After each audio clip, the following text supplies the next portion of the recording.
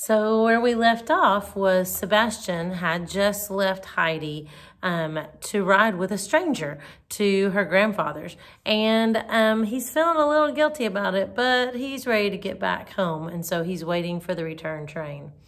The driver of the car was the miller at Dorfli and was taking home his sacks of flour. He had never seen Heidi, but like everybody in Dorfli, knew all about her.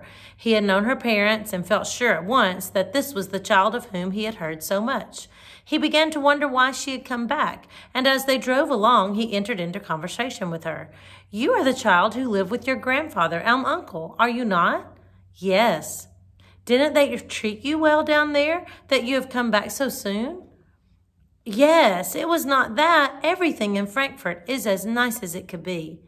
Then why are you running home again?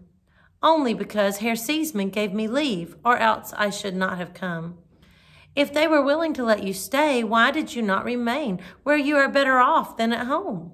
Because I would a thousand times rather be with grandfather on the mountain than anywhere else in the world. You will think differently, perhaps, when you get back there, grumbled the miller, and then to himself, It's strange of her, for she must know what it's like. He began whistling and said no more, while Heidi looked around her and began to tremble with excitement, for she knew every tree along the way, and there overhead were the high, jagged peaks of the mountain looking down on her like old friends. And Heidi nodded back to them and grew very and grew every moment more wild with her joy and longing, feeling as if she must jump down from the cart and run with all her might till she reached the top. But she sat quite still and did not move, although inwardly in such agitation.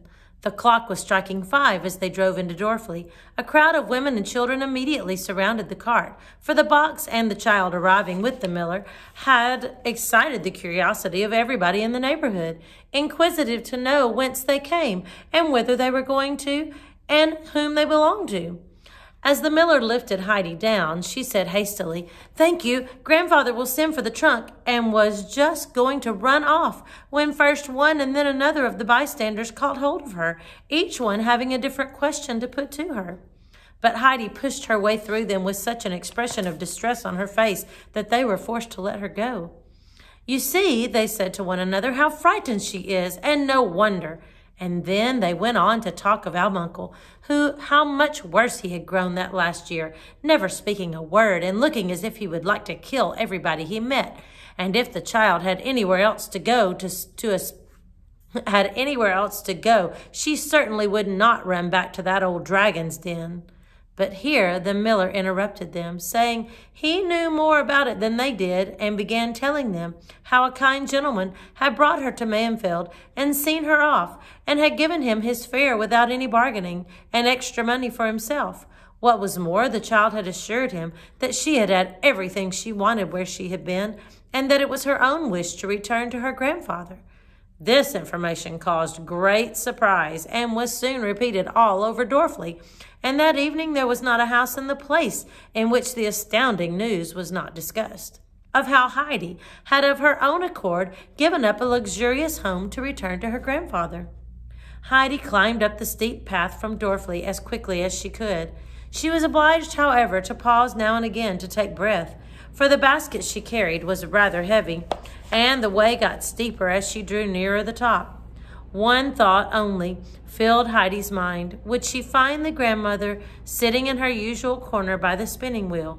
Was she still alive? At last, Heidi caught sight of the grandmother's house in the hollow of the mountain, and her heart began to beat. She ran faster and faster, and her heart beat louder and louder. And now she had reached the house, but she trembled so she could hardly open the door. And then she was standing inside, unable in her breathlessness to utter a sound. Oh my God, cried a voice from the corner. That was how Heidi used to run in. If only I could have her with me once again. Who is there?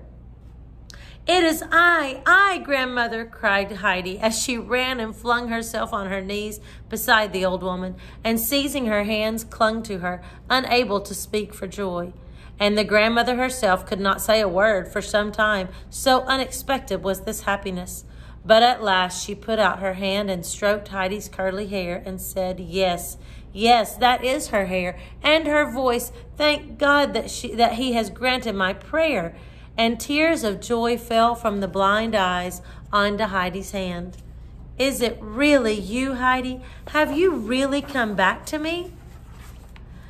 Yes, grandmother, I am really here, answered Heidi in a reassuring voice. Do not cry, for I have really come back, and I am never going away again, and I shall come every day to see you, and you won't have any more hard bread to eat for some days. For look, look! And Heidi took the rolls from the basket and piled the whole twelve up on grandmother's lap. Ah, child, child, what a blessing you bring with you! The old woman exclaimed as she felt and seemed never to come to the end of the rolls. But you yourself are the greatest blessing, Heidi. And again she touched the child's hair and passed her hand over her hot cheeks and said, Say something, child, that I may hear your voice. Then Heidi told her how unhappy she had been, thinking that the grandmother might die while she was away and would never have her white rolls, and that then she would never, never see her again. Peter's mother now came in and stood for a moment overcome with astonishment. Why, it's Heidi, she exclaimed. And yet, can it be? Heidi stood up, and Brigitte now could not say enough in her admiration of the child's dress and appearance. She walked round her, exclaiming all the while, Grandmother, if you could only see her and see what a pretty frock she has on, you would hardly know her again. And the hat with the feather in it is yours too, I suppose? Put it on that Put it on that I may see how you look in it.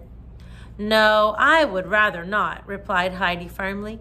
You can have it if you like. I do not want it. I have my own still. And Heidi, so saying, undid her red bundle and took out her own old hat, which had become a little more battered still during the journey.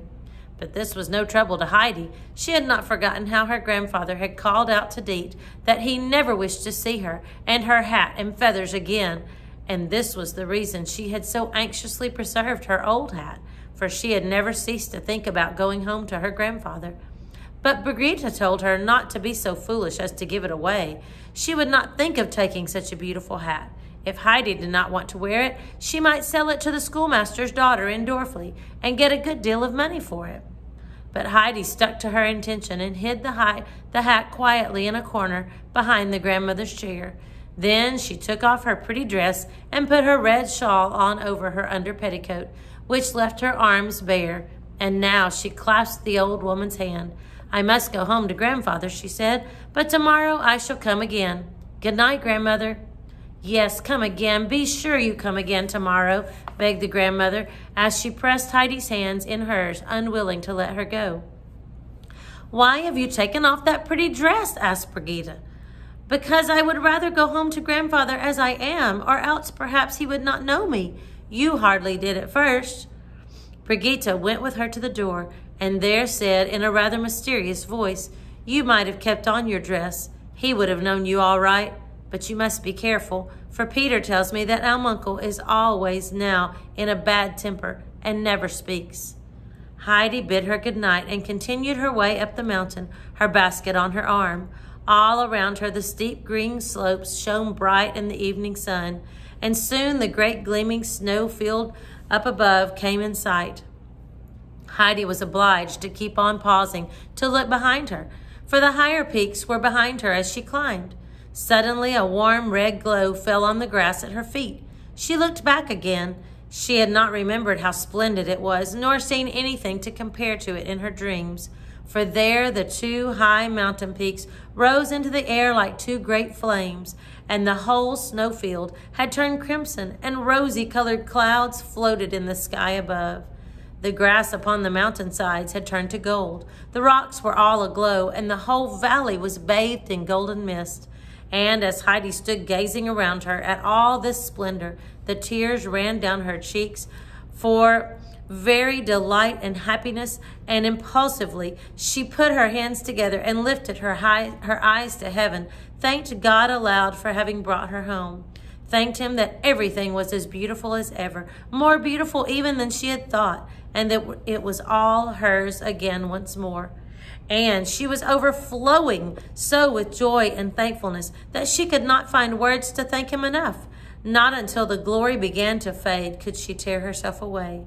Then she ran on so quickly that in a very little while she caught sight of the tops of the fir trees above the hut roof, then the roof itself, and at last the whole hut. And there was grandfather sitting as in old days smoking his pipe, and she could see the fir trees waving in the wind. Quicker and quicker went her little feet, and before our uncle had time to see who was coming, Heidi had rushed up to him, thrown down her basket, and flung her arms around his neck, unable in the excitement of seeing him again to say more than, Grandfather, grandfather, grandfather, over and over again. And the old man himself said nothing. For the first time for many years, his eyes were wet, and he had to pass his hand across them. Then he unloosed Heidi's arms, put her on his knee, and after looking at her for a moment, said, So you have come back to me, Heidi? He said, How is that? You don't look much of a grand lady. Did they send you away? Oh, no, grandfather, said Heidi eagerly. You must not think that. They were all so kind, Clara and grandmamma and Herr Sesemann. But you see, grandfather, I did not know how to bear myself till I got home again to you. I used to think I should die, for I felt as if I could not breathe. But I never said anything because it would have been ungrateful. And then suddenly one morning, quite early, Herr Sesemann said to me, but I think it was partly the doctor's doing, perhaps, but perhaps it's all in the letter. And Heidi jumped down and fetched the roll and the letter and handed them both to her grandfather.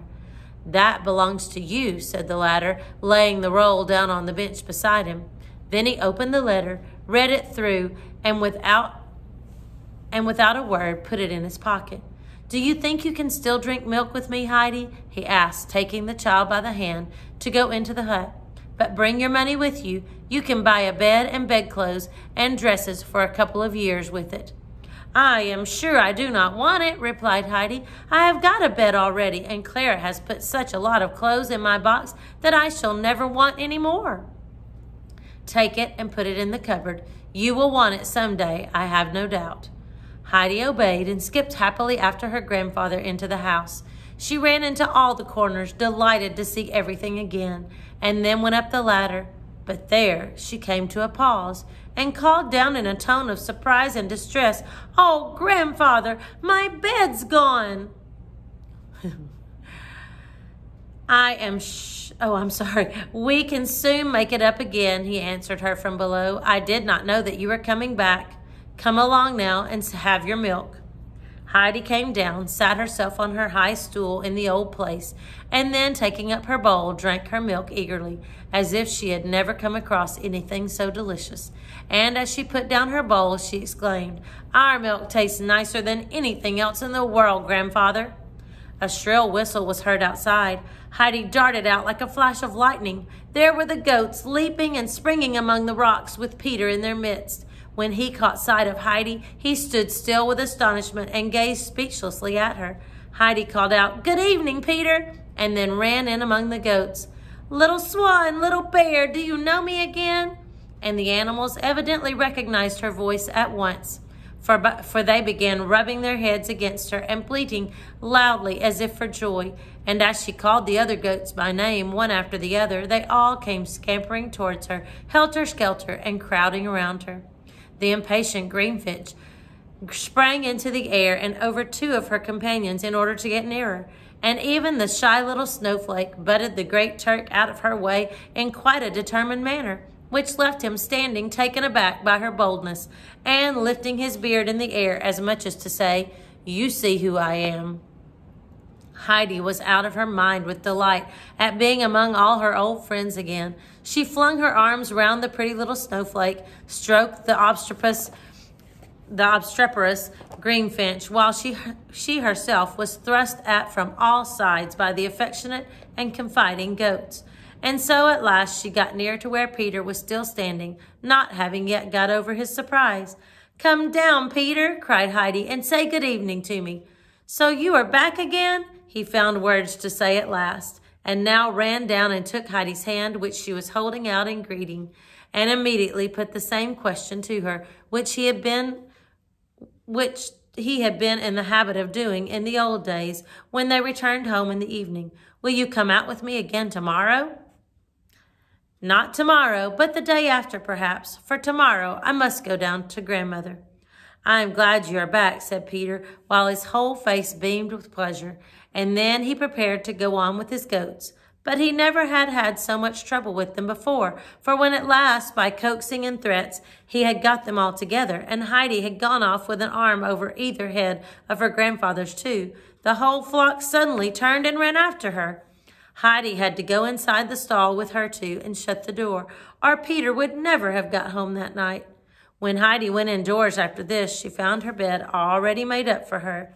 The hay had been piled high for it and smelt deliciously, for it had only just been got in, and the grandfather had carefully spread and tucked in the clean sheets. It was with a happy heart that Heidi lay down in it that night, and her sleep was sounder than it had been for a whole past year. The grandfather got up at last, at least ten times during the night, and mounted the ladder to see if Heidi was all right, and showing no signs of restlessness, and to feel that the hay he had mounted the he that he excuse me, and to feel that the hay he had stuffed into the round window was keeping the moon from shining too brightly upon her. But Heidi did not stir. She had no need now to wander about for the great burn, burning longing of her heart was satisfied. She had seen the high mountains and rocks alight in the evening aglow. She had heard the wind in the fir trees. She was at home again on the mountain. Wow. Doesn't that make you feel happy inside? Oh, it does me. I feel like I'm the grandfather, and Heidi just came home to me. So tomorrow we will read Sunday Bells, chapter 14. I'll see you then.